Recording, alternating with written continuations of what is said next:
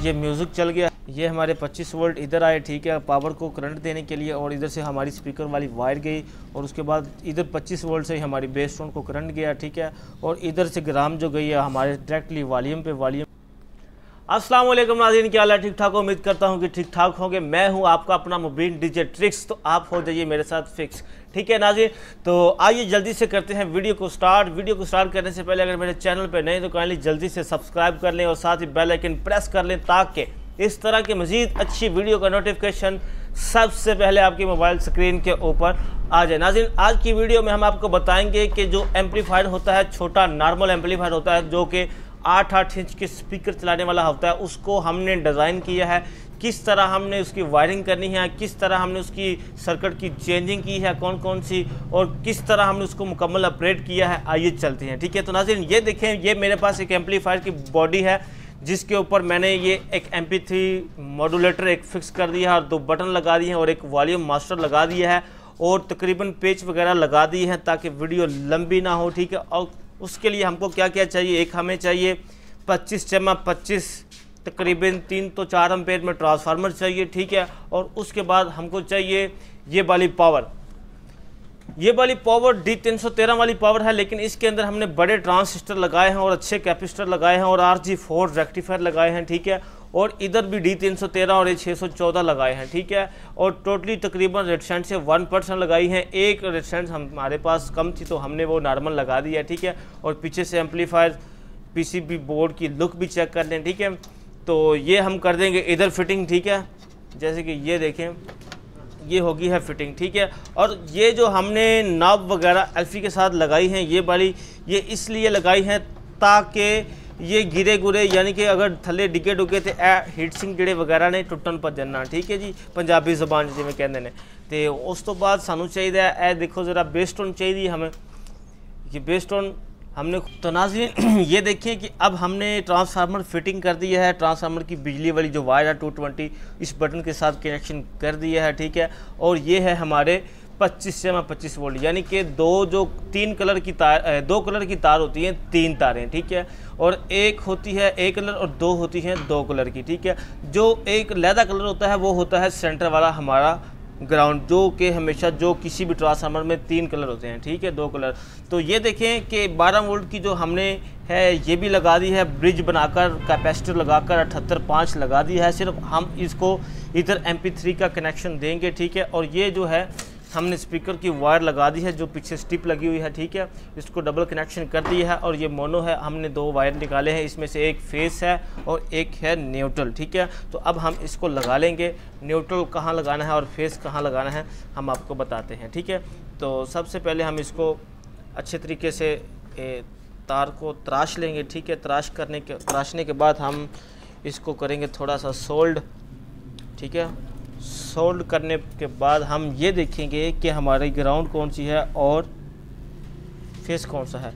तो ये देखें, ये है हमारा फेस ये वाला।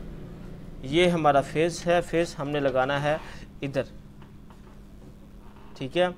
तो जो कि हमारा न्यूट्रल है न्यूट्रल ये देखें कि ये न्यूट्रल है, ये न्यूट्रल इधर भी आ रहा है और इधर भी जा रहा है, लेकिन आपने कैपेसिटर के ऊपर लगाना है न्यूट्रल ठीक है? जहाँ न्यूट्रल ठोस आता है, ठीक है? और उसके बाद आपने ये लगानी है 25 से मैं 25 वाली वायर, ठीक है? ये आपने कैसे लगानी है मैं आपको बता देता हूँ। दो कलर जो हैं वो आपने दो वायर हैं जो दो, एक कलर की वो आपने लगा देनी है साइडों पे दोनों की, ठीक है? और जो एक कलर है वो आपने लगा देना है सेंटर, ठीक है? तो अब हम इसको भी कर लेंगे सोल्ड। सोल्ड करने के बाद हम आपको आगे बताते हैं कि आगे क्या करना है, ठीक है? तो अब हमने ये लगा ली है और उसके बाद हम ये लगाएँगे सिग्नल। सिग्नल इनपुट करेंगे और कैसे लगाना है हमने ये इधर ही लगा देंगे ग्राउंड भी और सिग्नल भी, ठीक है? तो ये देखिए, ये हमने वायर निकाल ली। अब हम इसको करेंगे सोल्ड। सोल्ड करने के बाद आपने यही वायर जो है वॉल्यूम के पास ले जानी है, वो भी मैं आपको अभी बताता हूँ, ठीक है? और ये होगा हमारा काम, ठीक है? अब हमें चाहिए एक वायर जहाँ से हम हमने बेस्टोन को करंट देना है, ठीक है? नेगेटिव और पॉजिटिव ये देखें, ये मेरे पास वायर है तकरीबन तो इतनी वायर चल जाएगी। तो एक हमने देना है ग्राउंड और एक देना है हमने बेस ट्रेबल को पॉजिटिव और पॉजिटिव जो है, आपने देने हैं 25 वोल्ट वाले। बेस टोन को आपने 25 वोल्ट देने हैं, ठीक है? और ग्राउंड भी आपने इस पावर से ही देना है, ठीक है? ये देखिए ये मैंने लगा लिया। अब हम लगाएँगे पॉजिटिव पे। ये हमारा पॉजिटिव है। ठीक है? ये पॉजिटिव है हमारा और ये है हमारा ग्राउंड ये ग्राउंड है। आप इधर भी लगा सकते हैं, इधर भी लगा सकते हैं और इधर भी लगा सकते हैं। ठीक है? तो मैं हमेशा इधर ही लगा देता होता हूँ। तो ये है हमारा पॉजिटिव और ये है हमारा ग्राउंड तो ये हमारा पॉजिटिव और ग्राउंड बेस टोन के लिए रेडी हो चुका है, ठीक है? तो अब हम इसको कर देंगे फिटिंग क्योंकि इसका काम हो गया है तमाम, ठीक है? तो इसको हम कर देंगे अब फिटिंग फिटिंग करने के बाद एक इसके ऊपर नट लगा देंगे।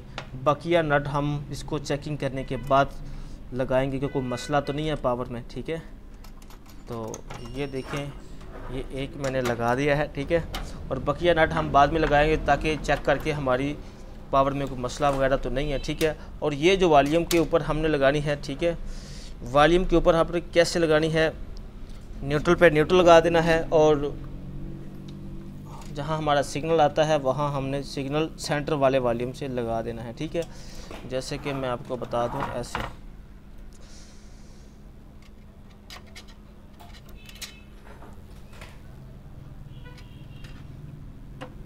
तो ये हमारा है सिग्नल।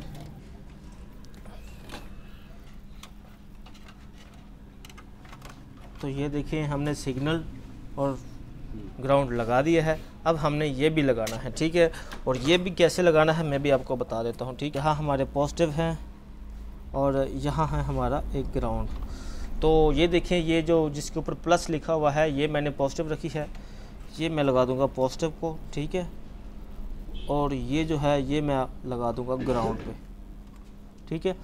ग्राउंड के लगा देने के बाद आपने क्या करना है? एक वायर लेनी है। वायर इधर से इधर तक लगानी है आपने, ठीक है? ये डबल वायर है। ये हम लगाएँगे इधर, ठीक है? अब हम लगाएँगे इसको ऐसे ही सिग्नल और ग्राउंड ठीक है? लगा देने के बाद आपने इधर ही सिग्नल और ग्राउंड दे देना है, ठीक है? ये मैंने दे दिया ग्राउंड और ये मैंने दे दिया इसको सिग्नल, ठीक है? तो ये देखें, तकरीबन हमारा इधर से इधर सिग्नल आ गया। पहले मैं आपको बता दूँ कि ये हमारे 25 वोल्ट हैं, ये देखें। ये हमारे 25 वोल्ट इधर आए, ठीक है, पावर को करंट देने के लिए और इधर से हमारी स्पीकर वाली वायर गई और उसके बाद इधर 25 वोल्ट से ही हमारी बेस टोन को करंट गया, ठीक है, और इधर से ग्राम जो गई है हमारे डायरेक्टली वॉल्यूम पे वॉल्यूम पे आई बेस टोन पे, बेस ट्रबल पे, और उसके बाद हम इधर से एम को दे देंगे और एम को करंट जो है हमने इधर लगा लिया है, जैसे कि आपको दिखाई दे रहा है। कि एक ब्रिज लगाई है और कैपेसिटर के ऊपर अठहत्तर पाँच लगाया है, ठीक है? और उसके बाद हम इसको कनेक्शन दे देंगे तो हमारा एम्पलीफायर हो जाएगा रेडी अब हमने क्या करना है, सिर्फ़ एक एम को ग्रिप लगाना है, ठीक है? और एम की वायर आपने अच्छे तरीके से चेक कर लेनी है। चेक करने के बाद ही आपने इसको लगाना है कि नेगेटिव कौन सा है और पॉजिटिव कौन सा है, ठीक है? एम का ग्रिप लगाने के बाद हम लगाएँगे ऑडियो सिग्नल वाला ग्रिप ठीक है? तो एक लगा लेंगे हम इधर और एक लगा लेंगे। जो सेंटर वाला होता है एमपीसी का, वो होता है ग्राउंड ठीक है? और ये मोनो है और दूसरी साइड पर हम इसका जो है ग्रिप जो है, इसको ख़त्म कर देंगे, ठीक है? ये एक फारक है, ठीक है? और इसके बाद ये हो गया और ये भी हो गया। अब हमारा हो गया है बिल्कुल कंप्लीटेड तो अब ये है हमारा स्विच हम लगाएँगे इसको सीरियस पे पहले, ठीक है? सीरियस के बाद हम करेंगे इसको ऑन ऑन करने के बाद हम इधर चेक करेंगे भी वोल्टेज हमारे एम के पूरे बन रहे हैं या ज़्यादा बन रहे हैं। एम का ग्रिप लगाने से पहले आपने ये लाजमी चेक कर लेना है, ठीक है? ये मेरी बार बार अपील होती है कि आप पहले वोल्टेज चेक कर लें ताकि वोल्टेज पूरे हैं या नहीं, ठीक है? चार इशारिया पचानवे, यानी कि पूरे पाँच वोल्ट बन रहे हैं, ठीक है? अब हम लगाएँगे इसको ऐसा, इधर इधर लगा देने के बाद हम चेक करेंगे कि क्या हमारा एम पी मॉड्यूल चल गया है। तो ये देखिए, वाकई ही चल गया है, ठीक है? ये देखिए, अब ये हमारा एम पी मॉड्यूल चल गया है। अब हम इसको ऑडियो वाला ग्रिप लगाएँगे। ये पहले ग्रिप लगाना है और ये बाद में लगाना है। ये अगर पहले ये लगा दोगे तो ग्राउंड इधर से मिल जाएगा और पॉजिटिव इधर से जो ही पॉजिटिव इधर से गया तो आपकी एम पी इन्ना लीला है वही इन्ना लहराजून पता लग गया ना? हाँ ये होता है। तो अब हम ये आ गया। अब हम स्पीकर की आउटपुट लगाएँगे। अभी इसी वीडियो में हम आपको टेस्ट भी करके दिखाएँगे इसकी साउंड क्वालिटी कैसी है ठीक है? तो ये देखिए ये हमने लगा दी है एक स्पीकर की वायर तो एक स्पीकर की वायर लगा देने के बाद हम दूसरे स्पीकर की वायर भी इधर ही लगा देंगे ठीक है? दो स्पीकर चेक करने के लिए हम ठीक है? तो सबसे पहले क्या करना है आपने वॉल्यूम को छोड़ देना है और उसके छोड़ने के बाद सबसे पहले आपने ये चेक करना है कि इधर सिग्नल आ रहा है कि नहीं। ये देखें। इधर हमारा सिग्नल आ रहा है, ठीक है? और उसके बाद हम ये चेक करेंगे, क्या इधर भी हमारा सिग्नल आ रहा है, जहाँ एम का है? तो इधर भी हमारा सिग्नल आ रहा है, ठीक है? ये देखें। इधर भी हमारा सिग्नल आ रहा है ठीक है? तो अब हम क्या करेंगे? यूएसबी लगाएँगे और टेस्ट करेंगे क्या हमारा साउंड क्वालिटी बिल्कुल ये एम थ्री चल गई है ठीक है? ये म्यूज़िक चल गया है। अब हम YouTube का जो ऑफिशियली म्यूज़िक है वो लगाएँगे ठीक है? उसके बाद हम आपको चेकअप करवाते हैं ठीक है? तो ये हमारा म्यूज़िक चल रहा है ठीक है? अब तो ये एम्पलीफायर है, ठीक है? ये इसका वॉल्यूम है, ठीक है, और इसको वॉल्यूम को छोड़ेंगे अब। इसके ऊपर 15-15 इंच के दो स्पीकर चल रहे हैं, लेकिन ये 15 इंच के लिए नहीं मैंने बनाया, सिर्फ़ 10-10 इंच का एक स्पीकर चला ले या 8-8 इंच के दो स्पीकरों के लिए ये परफेक्ट है, ठीक है? ये आपको दिखाते हैं कि वो 15-15 इंच के स्पीकर चल रहे हैं, ठीक है? वो देखें।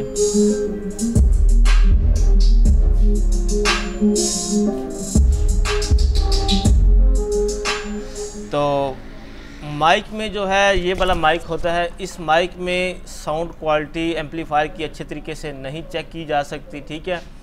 तो आप जब इसको लाइव चेक करेंगे तो फिर आपको पता चलेगा कि किस तरीके से आपने इसकी साउंड क्वालिटी कैसी है, कैसी नहीं है, ठीक है?